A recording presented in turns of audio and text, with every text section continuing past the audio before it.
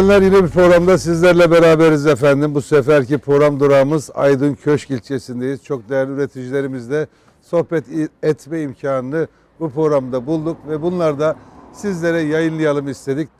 Tarım programlarının en uzun soluklusu Tarım Analiz Aydın Köşk'te ve çok değerli üretici konuklarımızla beraberiz. Hoş geldiniz programımıza. Şöyle mikrofonları alalım.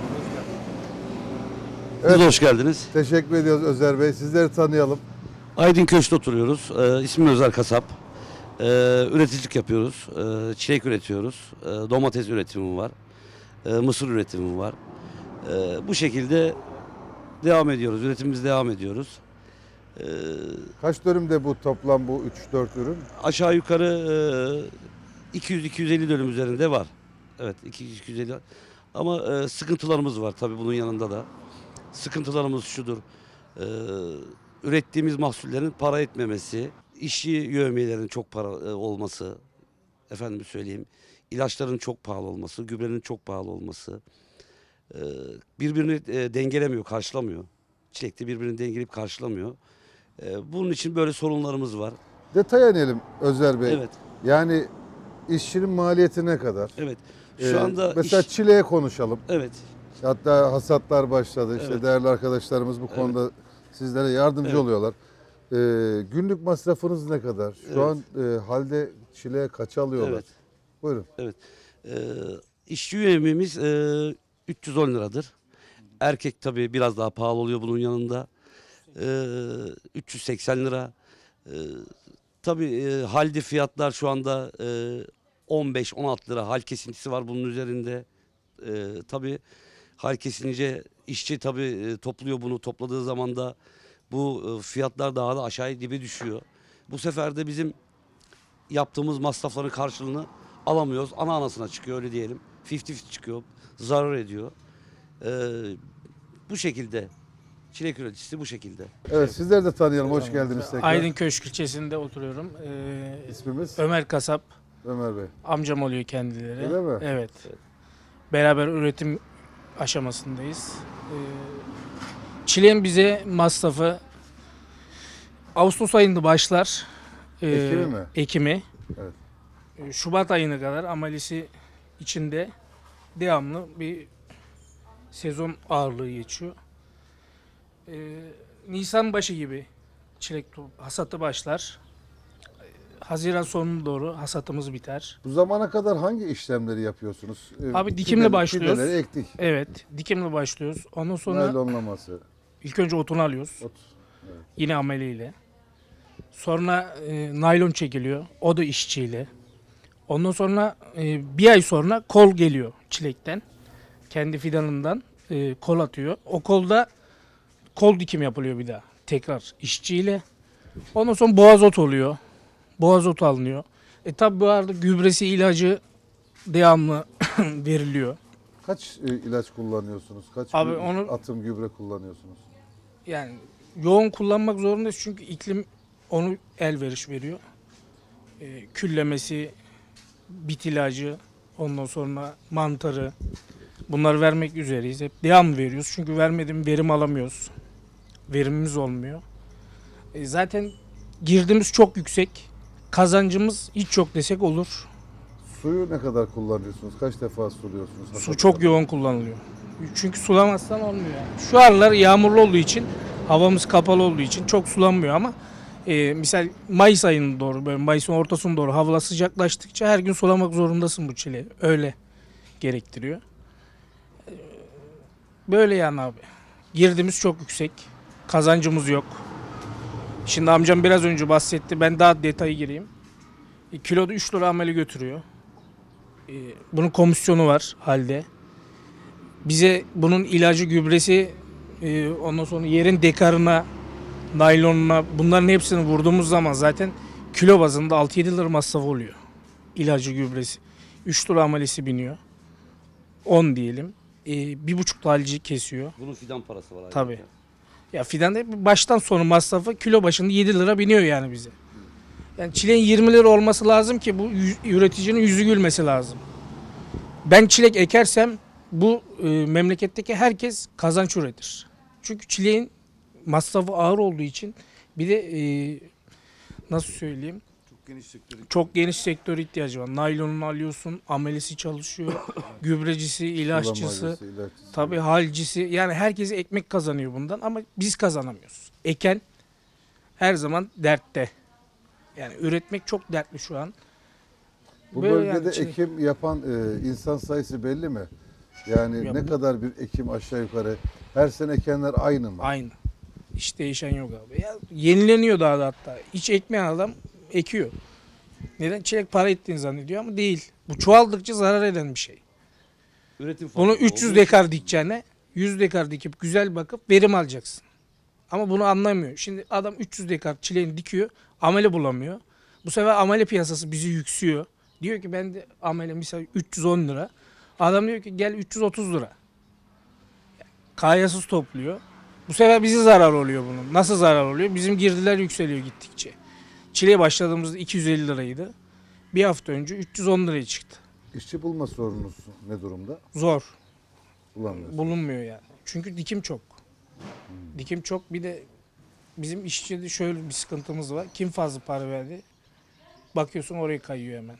Yani oraya gidiyor. Çok sıkıntılarımız var. Malı karartmamak için çok mücadele veriyoruz. Yani bugün hasat yapılacak. Mutlaka o işin oraya gelmesi lazım. Tabii. Muhakkak o hasadı almam lazım yani. Ben 3 günde bir çileğe dolaşmak zorundayım. Yani bir turu 3 gün için tamamlayıp bir daha girdiğim yerden devam etmek zorundayım. O yüzden böyle abi. Yani çok zor. Şu maliyette şu işi yapmak harbiden çok zor. Şimdi sizin 7 lira, 8 lira ana maliyetiniz var. Evet. Hani daha bunun üstüne karınızı, Ya- başka maliyetleri, mazotu, şu buyu koymuyorsunuz. Yok. Onları Yerler kendi halimizde olduğu için ben 7 lira hesaplıyorum. Bir de 3 lira amelesi alıyor 10 lira. 1,5 lira e, en aşağıya komisyon oluyor bunun. 11,5 lira. 15 lira yazılıyor. Kiloda 3,5 lira benim karım kalıyor. Ya da o da benim zaten 12 ay bunun içinde çıkmıyorsun. O girdiğin çıktığını hiç değmiyor yani o işin içine. Evet. Ya benim anlayamadığım konu şu. Mikrofon alalım Ee, benim anlayamadığım konu şu. Ee, bizim şu anda burada e, 15 lira olan çilek çilek İstanbul'da 35 lira manavda. Benim anlayamadığım konular bunlar. Bunlar. Ee, yani bunların bir çözüm gelmesini istiyoruz artık. Çözüm gelmesini istiyoruz. Yani burada 15 lira üreticide üretici e, bir yıl boyunca o bahçenin içinden çıkmıyor. Alın teri, alın teri veriyor. Ama 20 lira aradaki fiyat farkı İstanbul'da manava düştüğü zaman 20 lira fiyat farkı çok büyük bir fark. Yani bunların giderilmesini istiyoruz yani. Bizim maliyetlerin düşürülmesini istiyoruz. Siz buradan çile toplayın, bedava Ankara'ya gönderin. Ankaralılar bedava yesin deseniz herhalde e, 10 liradan aşağı kilosu gitmez oraya. Evet. Kilo evet, maliyeti. maliyeti var evet. Yani Maliyeti var. akaryakıt maliyetleri olsun. Evet. Efendim işçinin bugün e, mazot tamam 20 lira seviyelerine geri çekildi 30 liraları gören mazot. Ama e, işçilik düşmedi. Bugün 1 litre yağ 100 liraydı oldu 500 lira. Evet. 400 lira. Yani her şey 3 katı 5 Evet. katı arttı. Sigorta rakamları işte özel araçlardan dolayı biliyorum. Büyük araçlarda ne kadar oldu bilmiyorum ama 500 lira dediğimiz sigorta bugün Evet. 2500 lira yeni sene herhalde 4-5 bin liralar ödenecek. Yok e, biz e, yeni bir araba aldık. E, yeni değil ikinci el bir araba aldık. Pikap aldık bir tane transit. E, sigortası 6700 lira yıllık. 6700 lira. Daha yeni aldık arabayı. Bir buçuk ay oldu mu bu arabayı alalı? Bir buçuk ay önce bu parayı yaptırdık. Kapının önünde dursa o parayı ödeyeceksiniz. Muhakkak. Ha, biz bu arabayı Sigortası, biz bu arabayı muayenesi. 3 ay kullanacağız. 10 Çilek e, sezonunda kullanacağız. Ama 3 ay yatacak araba. Geri kalan ayına boşu boşuna sigorta parası ödemiş olacağız. Buğdayın kilosu şu an 6 liralarda geziyor. Biz bunun tohumunu 15,5 liraya alıyoruz. Sertifikalı tohumu 15,5 liraya alıyor. Bu dekarı 20 kilo gidiyor. Yani kendi ekecek olduğum tohumu 15,5 liraya alıp ben bundan bakıp dekarda ne kadar kilo alabilirsin? En fazla alacağın 700 kilo buğday alırsın. Ben 700 kilo buğdayı 6 liraya sattıktan sonra bu iş hemen külli zarar. Gübre zaten bir, bir çuval üre bir ara indirim geldi. Şimdi nasıl bilmiyoruz kullanmıyoruz üreyi de. 500 liraya kadar düştü. 539 liraya kadar düştü. Yani her şeyin maliyeti çok yüksek. Bir çilekle bitmiyor bizim işle. Şimdi domates var. Domatesde çapasıymış, o suymuş, ilacıymış. Yani o da yüksek fiyatlarla gidiyor. Gübre devamlı vermek zorundasın. Vermedin mi hiçbir şey alamıyorsun. Yani abi bu işlerin bir an önce çözümü gitmesi lazım.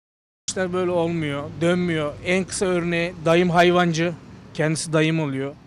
Bir çuval yem olmuş 380 lira. Et kasapta 350 lira. Bizim elimizde 200 lirayı kesen yok. Yani bizim bunu görmesi lazım. Bunu kim devlet mi aracıyı kaldıracak yoksa biz mi ayaklanacağız? Çiftçi çünkü son noktalarını yaşıyor. Bu çiftçi olmadan bu Türkiye'de geçim kaynağı olmaz abi. Her şey bizim elimizde dönüyor yani. Şimdi Ömer Bey aracılarla da konuşuyoruz. Mesela siz hayvanınızı kestirdiniz. A marketi gitti aldı.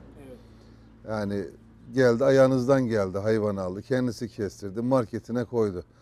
Konuşuyoruz sahipleriyle, müdürleriyle vesaire. Abi diyor şu kadar kira ödüyorum diyor. İşçim şu kadar veriyorum diyor. Bilmem şu falan. Yani ben diyor 200 liraya kestirdiğim hayvanı 300 liradan aşağı sattığım zaman diyor e, zarar ederim diyor. Yani şimdi baktığınız zaman kira maliyetleri, sigorta maliyetleri, Ya tabii stopajı. biz büyük şehir yaşamadığımız için o kadar burada Evet. bilmiyoruz da ama bizim buradakiler çok çok yüksü miktarda kiralar yoktur yani. Bunu Tabii. önlem almaz. Ya şimdi devlet bunu tarım kredi kooperatif marketi açtı. Geçenlerde eşimle oraya gittim ben. İndirim var diye. Bu e, devletin kendi ürettiği malzemeleri satıyor orası. Hiçbir fark yok. Evet, geçen de Hiçbir gezdim. değeri yok yani. Hiçbir şey değişen bir şeysi yok. Fasulye, nohut diğer marketlerle aynı, Aynı fiyatta fiyat satıyorlar. yani. Direkt üreticiden Bunu açmanın sebebi ne? Açıyorsan, bunu açıyorsan orada 1 lira 2 lira aşağı olması lazım. Tabii. ürünün. Ya bunun böyle böyle önünü geçilmiyor. Bu böyle böyle gidecek abi.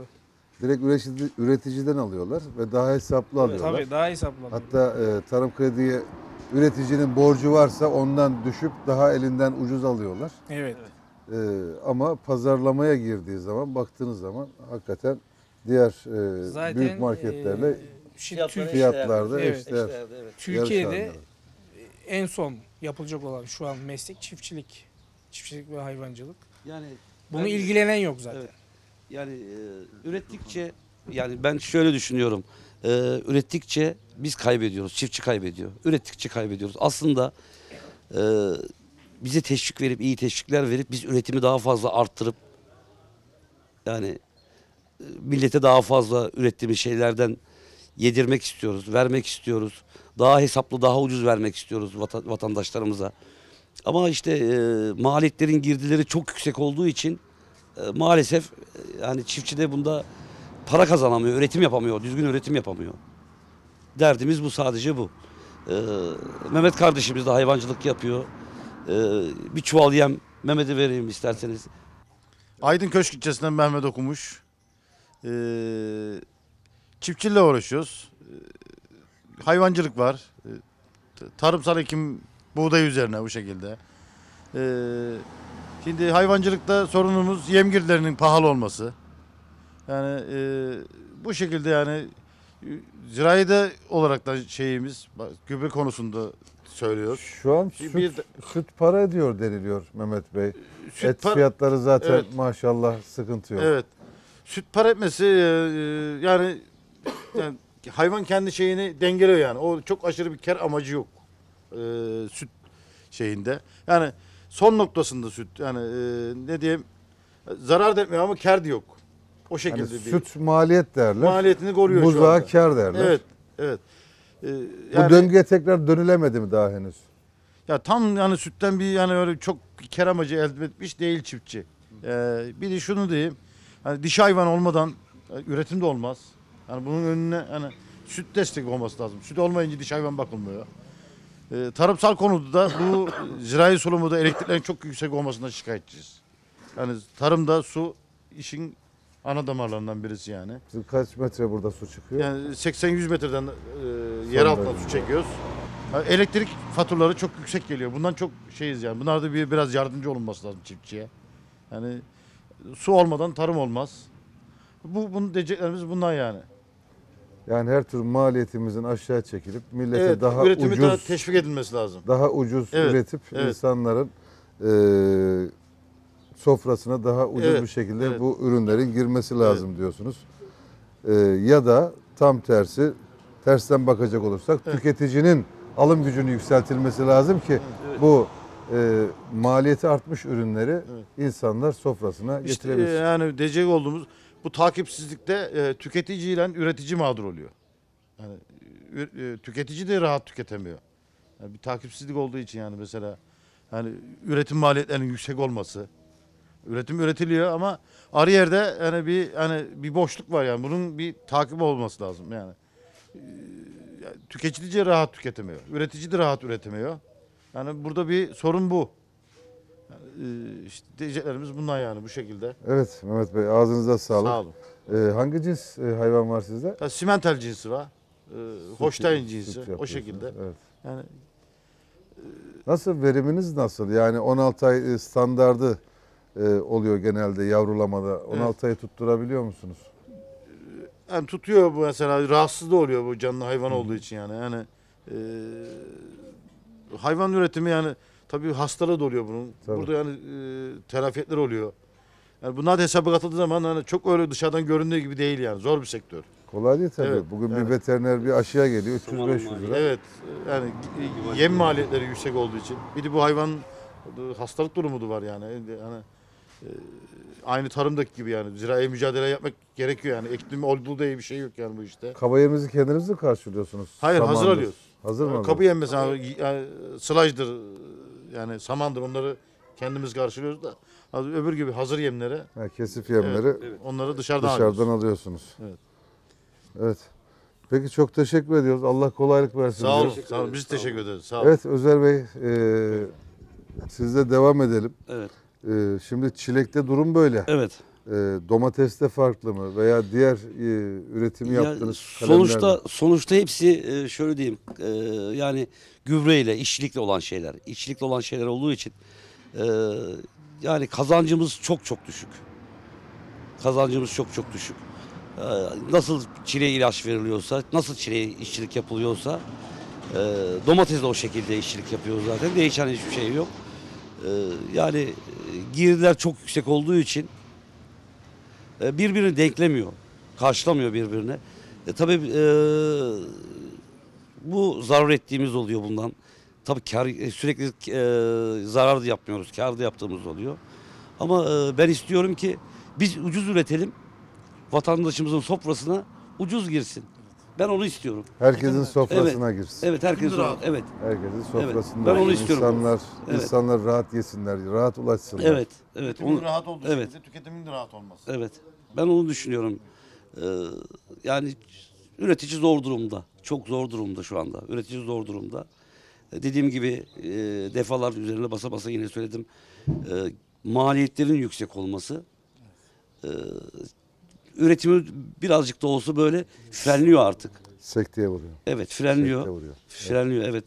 O şekilde söyleyeyim. Evet, çok teşekkür ben ediyoruz. teşekkür ederim sağ olun. Programımıza katılırız. Ee, Ömer Bey sizin de son mesajınız varsa mikrofonu alalım şöyle. Evet. Diyeceklerim bu kadar. Tabii e, elektrikte dayımın dediği gibi, ilettiği gibi bizim mesela çok yüksek geliyor. Zirai sunumu dedi. Yani Ne kadar geliyor aylık mesela? 5 geldiği oluyor, 6 geldiği oluyor. Suladığı yer çok az yani. Ben 8 dönüm çilek var. 5-6 dediniz. Milyar, 5 milyar, 6 milyar aylık bu. Hı, 5 milyon 6 milyon. Evet, Tabii. oraya geliyor. E, Yani es- yeni parayla 5 Abi bunu bin lira 6 bin lira. evet, 5-6 bin lira. Mesela, bu şekilde. Şimdi Yerin büyüklüğünü küçüklüğünü göre artık. Tabii. Kullanılan. ya bizim maksimum 15 dekar yerden suladığı zaman bizim geçen sene de 5 bin lira. 5 bin lira bir maliyetimiz oluyordu bizim her ay. Bir de e, şu sıkıntımız var. Ya çiftçi kısmında günü geliyor insanda para olmuyor. Yani bir sıkışmışlık baktiyet kesinlikle oluyor. İki ay geçtiği zaman günün bir gün geçti mi hemen gelip kesiyorlar. Yani bunun da önünü geçmesi lazım. Sen önceden 6 ayda 6 ay okunuyordu. Şimdi 6 ay geçti mi mesela Nisan ayı. Haziran ayının başlıyorlar 6 ay kadar okuyorlar. Yani aylığı döndürdüler işe. Önceden öyle değildi ama. Yani e, çiftçinin üstünden elektrik parası kazanıyorlar. Çiftçi Asıl çiftçi daha çok. Sıkıntı yaşıyor. Tabii yaşıyor. Çiftçi daha çok elektrik kullanıyor ya çiftçi kesimi. Mesela evden daha çok kullanıyorsun. Çünkü sanayiyle uğraşılıyor. Yani bu, bu articanları sanayi elektriğiyle çalıştığı için daha çok yakıt kullanıyor. Elektrik yakıtı. Bu da sizi bankalara itiyor. Maliyetli para, Tabii. faizli para itiyor. Allah şükür bankalar çok hani öyle çalışma gibi düşüncelerimiz hiç olmuyor da Ama yani bizi zorluyor yani abi bu iş. Bir de e, kesilmesi ne yani? 2 ay geçse ne, 3 ay geçse ne? Belli bir zaman ver bize. 6 ay içinde ödeyin bu elektrik faturasını de. Bu çiftçinin mahsulü varken sen buraya gelip elektrik kesebilir misin ya? Böyle bir düşüncem var. Bir de buraya geliyor adam misal biz diyoruz ki abi git yatıracağız.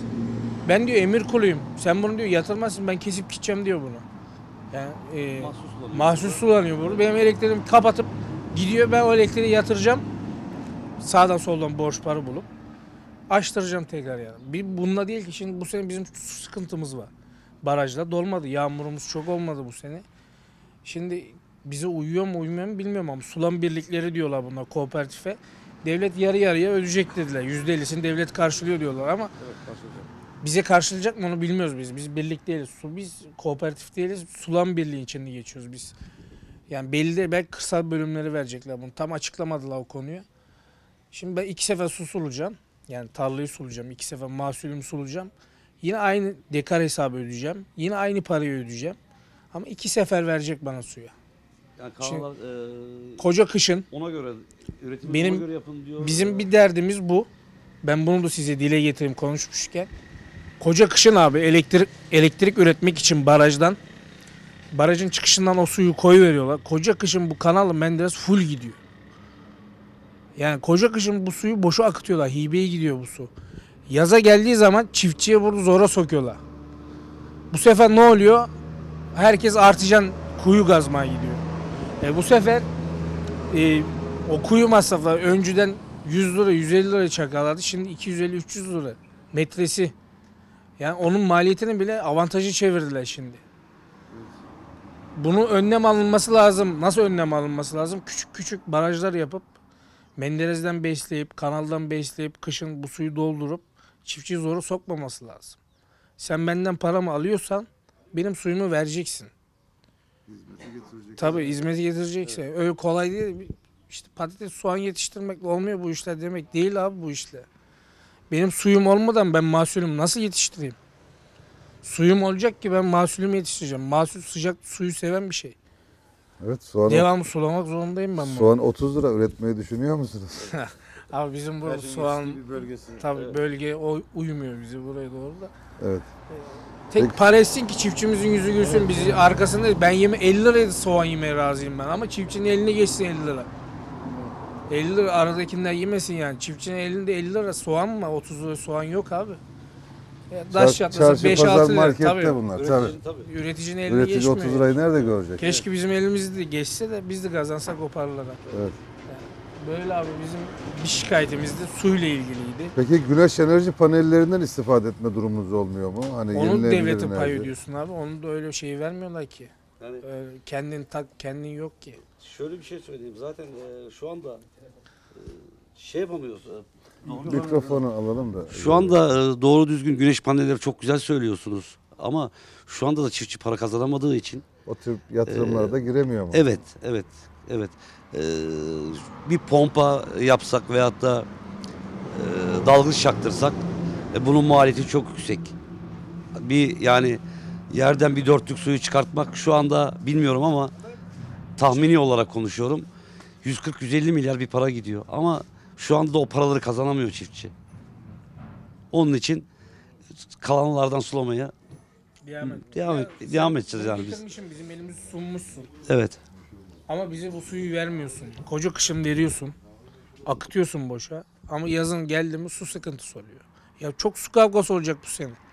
Asıl bizim harp Haziran Temmuz ayıyla başlayacak burada. Çünkü su sıkıntımız çok olacak. Bunu düşünen yok, bunu ilgilenen yok. Bunu konuyu getiren yok. Ya şu küçük bir gölet yapıp bunu devletin bütçesi yok mu? Var. Benden vergi alıyor, her şeyimi alıyor, su paramı alıyor. Elektrik üretmek için sen kışın suyu koy ver. Ama depolama. Boşuna aksın su. Yazık. Günah bu abi. Suyu da günah, bize de günah. Sen bana sıkıntı verdikçe ekim olmayacak, dikim olmayacak. Allah korusun. Hani her şey ithal gelmeye başlayacak yani. Çünkü üretici çok zor olduğu için her şey zor. Ekim dikim olma. Aslında bunu yapmak lazım. Evet, köy- Üretmemek lazım. köylü üretimi de bırakırsa yani bu insanlar direkt ithalatla nereye kadar? Hani bugün param var alırsın. yarın nereden bulacaksın? İşte bir pandemi yaşadık değil mi hep Evet, beraber? Hani insanlar sıfır binaların, sıfır arabaları yenemeyeceğini öğrendiler. Evet. Hani paranızla bile gıdaya Her şey ulaşamadığınız pandemiyle başladı dönemler. zaten. Evet. İçin. Tabii her evet, şey orada bakımdan başladı. üretmek zorundayız. Katıldıkları, katıldığınız için çok teşekkür Biz ediyoruz. teşekkür ederiz abi buraya geldiniz. Ömer Bey, Özer Bey. Mehmet Bey ağzınıza sağlık. Çok sağ olun abi. Ee, çok sağ olun.